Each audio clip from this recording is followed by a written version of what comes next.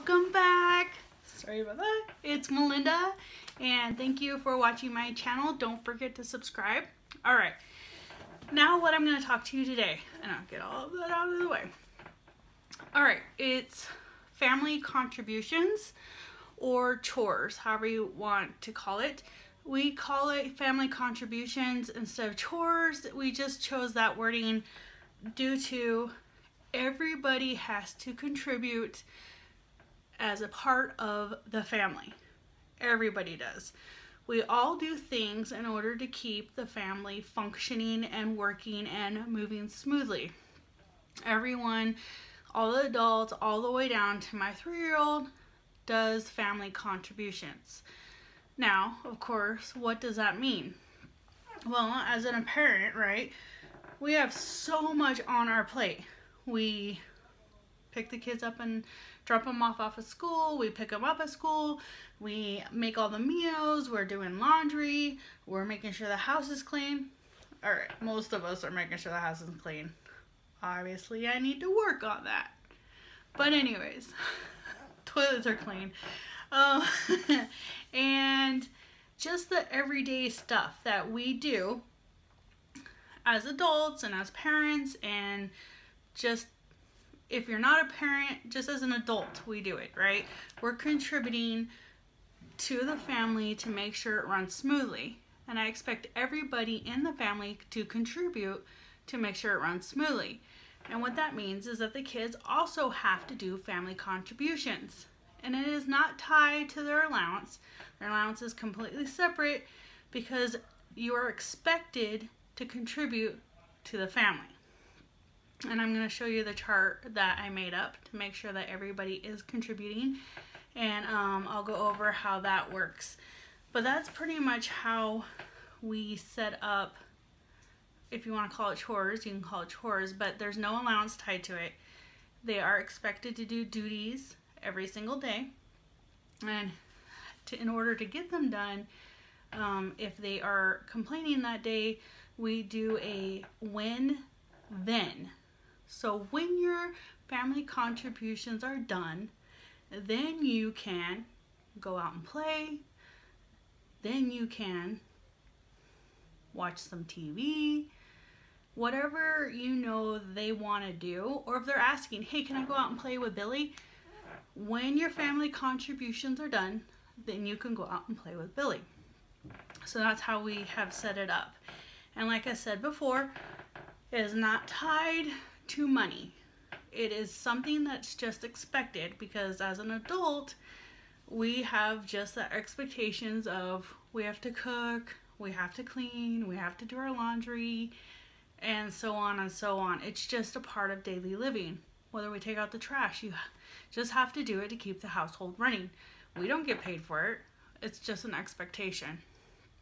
So that's what we've set up with our kids as well. So let me show you the board that I put together that is um, downstairs that um, they can reach. It's at their height level. It's magnetic and so far it's worked perfectly. Alright, thanks. I'll show you the board now. Okay, so this is our family contribution board and this is um, what I was talking about earlier on how we do our things that have to get done throughout the household.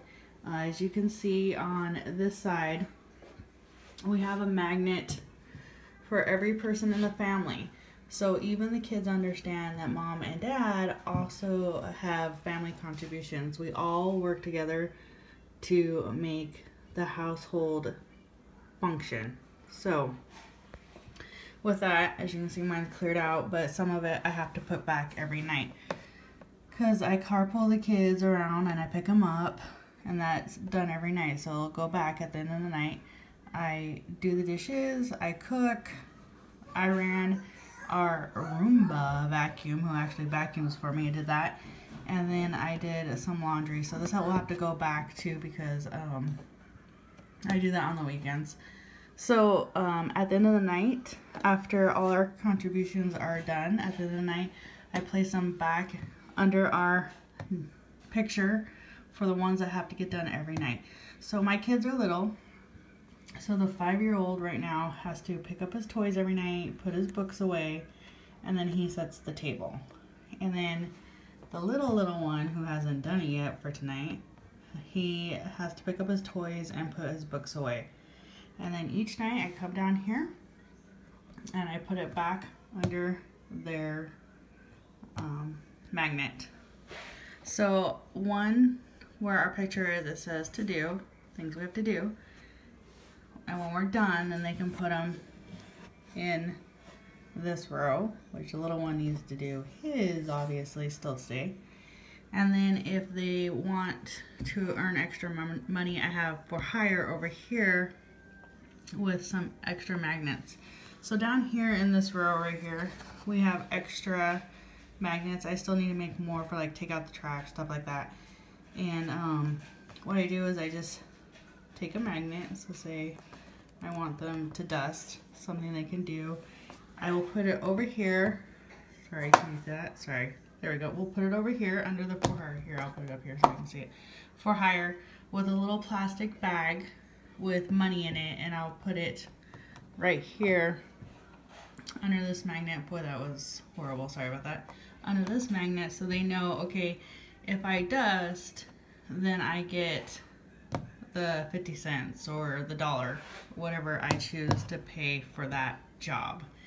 But if there's nothing over here for hire, then there's nothing for hire. And this is so they can earn extra money along with their allowance, like if they're saving up for a toy or something they want to do. But anything that is over here is an expectation that you do it.